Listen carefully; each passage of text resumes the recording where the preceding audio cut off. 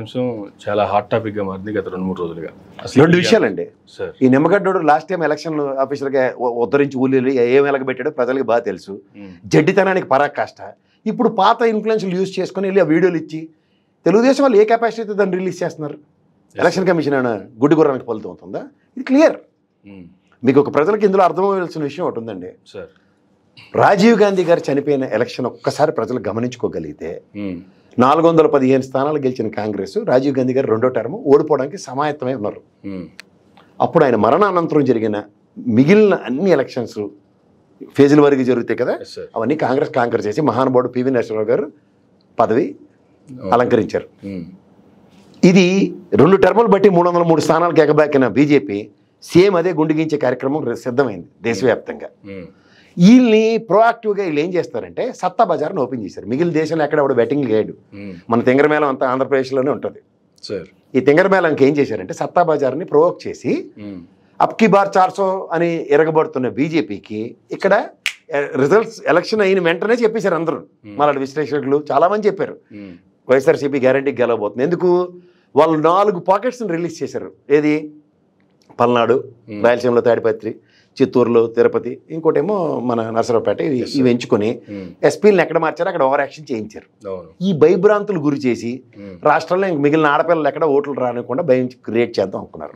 ఉమ్, తెంగరతనం కదా? జడ్డు మలోకాలతనానికి నిదర్శనం ఏంటంటే చంద్రబాబు నాయుడు ఓవర్ యాక్షన్.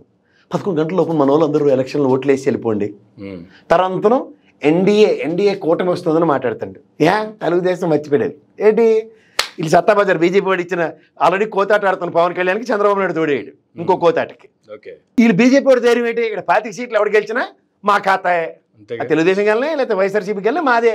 ఇది మాదే ఇది మాదే అని బ్రహ్మానందం గడు ఆ ఇంద్ర సినిమాలో పంచినట్టు ఇటు పంచేసుకోండి రెడీగా ఉన్నాడు. ఇటీ కొట్టాడు వీళ్ళందరూ రెడీగాను. సో ఇక్కడ వాస్తవం ఏంటి? ప్రజలు బ్రహ్మాండంగా ఉన్నారు. మీకు వెస్ట్ బెంగాల్ నుంచి తీసుకో ఒరిస్సా ఆంధ్రప్రదేశ్ తమిళనాడు తెలంగాణ కేరళ కర్ణాటక. నూట యాభై సీట్లు ఎత్తుకోదేసే పరిస్థితిలో ఉంది. ఉమ్, ఈ ఫేజ్ ఏంటి? బెట్టింగ్లు వీళ్ళందరినీ ఓపెన్ చేసేస్తే ఏముంది? దీంతో సత్తా బజార్ ప్రభావంతో ఎన్డీఏ కూటమి వచ్చేస్తుందట వచ్చేస్తుందట వచ్చేస్తుందటని మహేంద్రజాలం ఇంద్రజాల మహేంద్రజాలం నరేంద్ర మోడీ గారు తెరలేపారు. ఉమ్, దీనికి మనోడు ఈ చిలక జోస్యం చెప్పి చంద్రబాబు నాయుడు కూడా అచ్చని పచ్చపోసు కబుర్లు. ఉమ్, ఇక్కడ ఈ నలుగురు ఎస్పీల్ని మార్చిన దగ్గర దీంట్లో ఏంటి? తాడిపత్రి. ఎలక్షన్ కమిషన్ ఫెయిల్యూర్ గురించి చెప్పాలంటే మొదటి ఉదాహరణ అదే. ఎస్ సార్ అల్లు అరవింద్ కొడుకు అక్కడ ఎవరు మన శిల్పారావు గారికి. శిల్పారావు గారికి అల్లు అరవింద్ గారు అబ్బాయి పేరేంటి? బన్నీ అల్లు అర్జున్ అల్లు అర్జున్. ఎల్లి సర్కల్ అంటే వన్ ఫార్టీ ఫోర్ సెక్షన్ వేగాతం కలిగిపోయింది తిరగబడిపోయి చచ్చిపోయని చెప్పి ఎస్పీని మార్చేశారట. ఉమ్, ఈ ఎలక్షన్ కమిషన్ వాళ్ళు చొక్కలు ఎట్టుకొని పక్క స్లిప్ ఇలా అందించి ఆ స్లిప్ మళ్ళీ చూసి సంతకం పెట్టించి మళ్ళీ పక్కకి బాబు ఆగు.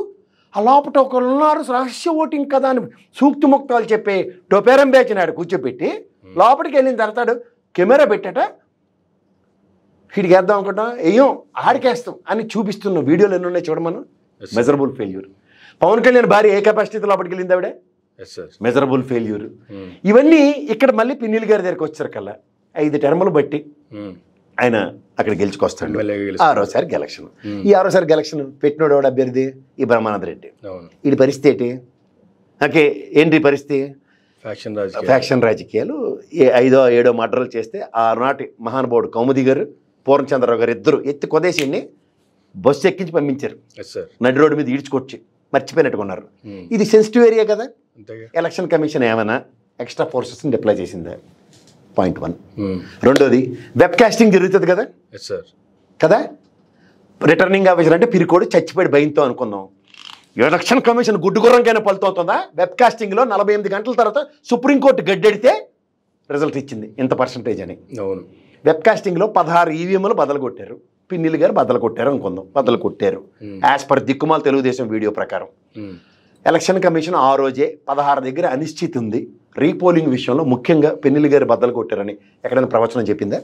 లేదు కదా. సిట్టోళ్ళు ఇవాళ వెళ్ళిన తర్వాత తాడిపత్రిలో అక్కడైతే పెద్దారెడ్డి ఇంటి ముందు JC Diwakar Reddy sensitive area కదా?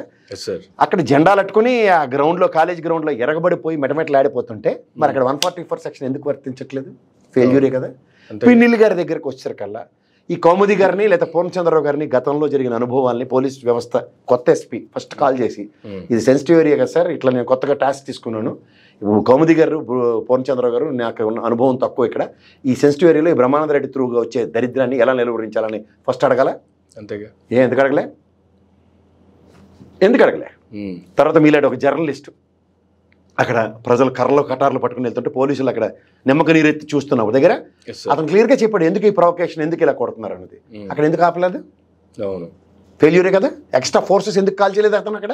అవును. మూడోది ఇక్కడ తిరుపతికి వచ్చేసరికల్లా ఆయన పేరు ఏంటంటే పులివర్తి నాని గారు. ఒక బండి కాలిపోయిందని చెప్పి ఇమీడియట్గా నేను బండి ఇచ్చాను. నీకు జమ్ముంటే ఇప్పుడు రా నేను ఇక్కడ ఉన్నాను తేల్చుకుందాం. అది ఇది అని ప్రొవకేషన్. మళ్ళీ ఇదే వేమూరులో ఆయన ఎవరండి వరికోట అశోక్ బాబు గారి. ఆ అమ్మాయి ఒక ఆడపిల్ల బండి కాల్చేస్తే అక్కడ బండి ఇచ్చి అశోక్ బాబు ఎందుకు అక్కడ ఓవర్ యాక్షన్ చేసే బండి ఎందుకు ఇవ్వలే? ఇవ్వాలి కదా. ఇచ్చి అక్కడ కూడా ఛాలెంజ్లు చేయాలి కదా. నేను వస్తాను. పోటుగాడిని నేను చంపేస్తాను పొడి చేస్తాను ఇప్పుడు ఇక్కడ ఏంటంటే they are decided to do సెన్సిటివిటీని పెంచాలి.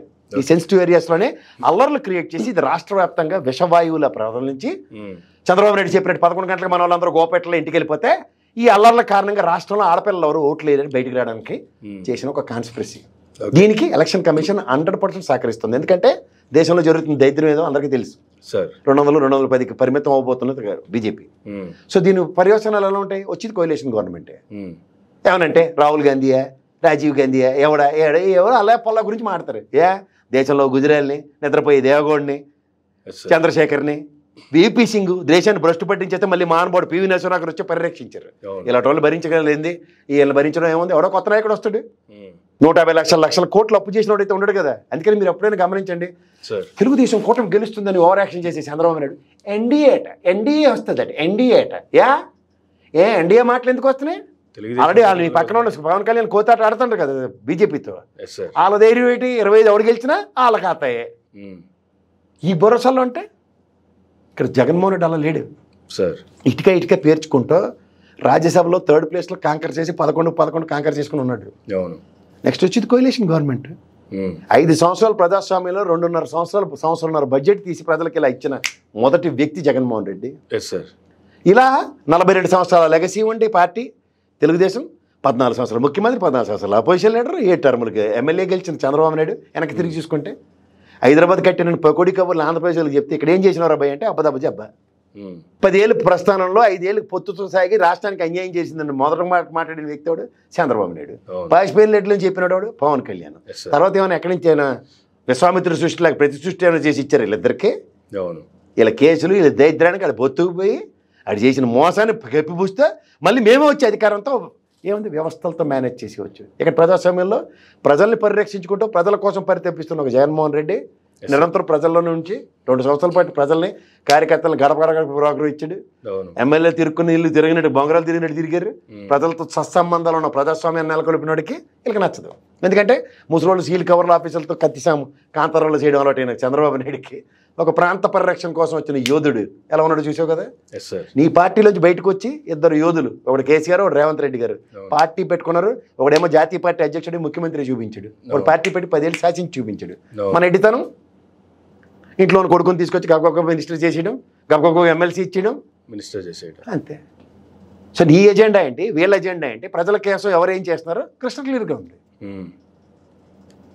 తదనంతరం వచ్చిన ముఖ్యమంత్రులు రేవంత్ రెడ్డిని తీసుకోండి లేదా కేసీఆర్ తీసుకోండి ప్రజా సంక్షేమం కోసం కనుక ఆలోచించింది? రైతు బంధు పథకం మానసిక పత్రిక కేసీఆర్దే కదా? రేవంత్ రెడ్డి ఈ ఆరు బుల్లెట్ పాయింట్స్తో సంక్షేమం చేద్దాం నరులు చేస్తున్నాడు కదా? కింద మీద పడుతున్నాడు కదా? మనోడిది ఏది? Copy cat kill the rate um.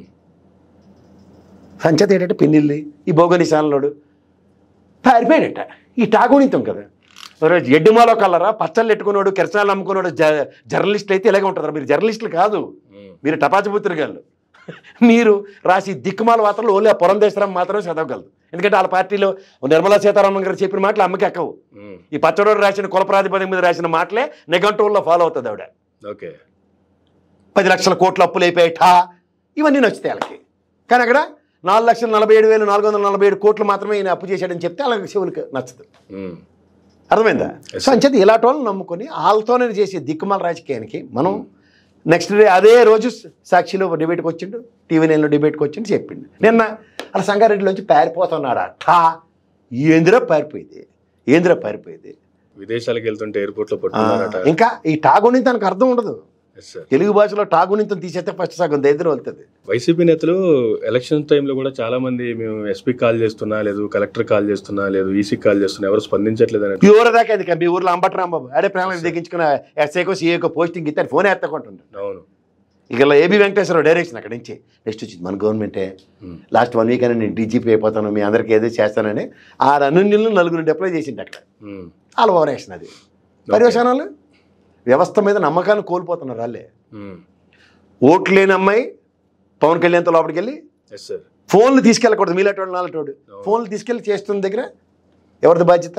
Election commission ఒక రిటర్నింగ్ ఆఫీసర్ ఒక ప్రైమ్ ఆఫీస్కి ఒక పార్టీకి కొమ్ము కాస్తున్న దగ్గర పిన్నిల్లాటోడు లోపలికి వెళ్తే జరిగిన గొడవ దానికి ఇన్స్టెంట్ రియాక్షన్గా వెబ్ కాస్టింగ్ చేస్తున్న ఎలక్షన్ కమిషన్ దాని మీద ఈ పదహారు ఈవీఎంలు ఎరగొట్టిన దీని మీద రీపోలింగ్ ఆలోచిస్తున్నాం అంటే డేటా రిస్టోర్ అయింది. తెలుగుదేశం నుంచి రెస్పెక్టేషన్ ఎందుకు? ప్రతిదానికి ఎగేసుకుని పోయే. ప్రతిదానికి ఎగేసుకుని పోయే వరల రామయ్య ఈ అశోక్ బాబు ఉంటారు కదా తెలుగుదేశం ఓన్ పక్కనే డీజీపీ ఆఫీస్ కాబట్టి ఏదో టపాస్ మంత్రుల్లో పరిగెడతారు ఓంట అంటే. ఉమ్, అలాగే గవర్నర్ ఓంట అంటే కలిసేస్తారు కదా. ఈ విషయంలో ఎందుకు కలలే? అవును. అంటే వాళ్ళ ప్రకారం డిజైన్ ప్రోగ్రామ్ ప్రకారం రిగ్గింగ్ జరిగింది. మొదటి నిక్షేపంగానే ఉంది డేటా దగ్గర. రీపోలింగ్ ఆర్డర్ ఇవ్వకూడదు. అందుకని ఎలక్షన్ కమిషన్ ఎక్కడ రీపోలింగ్ ఆర్డర్ ఇచ్చిందో చెప్పు. లేదు సార్. యా? ఏ? చెదురుమదురు ఘటనలా. చెదురుమదురు ఘటనలా. నలభై ఎనిమిది గంటల తర్వాత పర్సంటేజ్ డిక్లేర్ చేస్తావా? సిట్టు బృందం పర్యటించిన తర్వాత కూడా చెదురుమదురు గట్ల మీద నీ అథెంటికేషన్ లేదు. తెలుగుదేశం వాడు నిమ్మగడ్డాడు పట్టుకొచ్చి నీకు వీడియో ఇస్తే ఇది నీకు ప్రాతిపదిక. సో ఒకవేళ ఇస్తే ఈసీ ఇవ్వాలి కదా వీళ్ళు ఎలా ఇస్తారు వీడియో అసలు ఎవరురా మీరు? ఒకడైతే తీసేసింది తహసీల్దార్ పని అయిపోయిన తర్వాత నిమ్మగడ్డాడు ఇంకోటి సోమం తెలియని బుడ్డ పిల్లడోడు లోకేష్. వీళ్ళ వీడియోలు రిలీజ్ చేసింది. ఎవరు మీరంతా? ఏ కెపాసిటీలు చేస్తున్నారు? సార్. అంటే వ్యవస్థతో మేనేజ్ చేయడం అలవాటు అయిపోయి కూటమి కట్టి వ్యవస్థను గేమ్ చేసే దగ్గర ప్రజాస్వామ్యంలో నేను ప్రజలు అనుకున్న ఒక ప్రభుత్వం మీకు అక్కర్లేదు. అందుకే చూడు ఓ మేనిఫెస్టో ఇచ్చి జస్టిఫై చేయాలి. మేనిఫెస్టో ఎలక్షన్ కమిషన్కి ఇవ్వలే. మేనిఫెస్టో ఇది మాది దీనికన్నా ఇది బాగుంది కాబట్టి మాకు ఓటేయండి అని అడిగిన ఉదంతం లేదు. వీళ్ళ దైద్యం అంతా ఏంటంటే జగన్మోహన్ రెడ్డి దిగిపోవాలి. వీళ్ళు పెద్ద అశ్వమేధయాగం చేసి వీళ్ళు గుర్రాన్ని వదిలితేట జగన్మోహన్ రెడ్డి ఏదో అడ్డుకున్నట్టు వాళ్ళ మీద ఏదో యుద్ధం చేసినట్టు. మీకు శాతకాంతానానికి ప్రజలు మీకు ఇంట్లో కూర్చుంటారు బాబు మీకు రిటైర్ అయిపోయారని చెప్పారు కూడా ఇచ్చారు. ఏం చెప్పాలి దీనికి?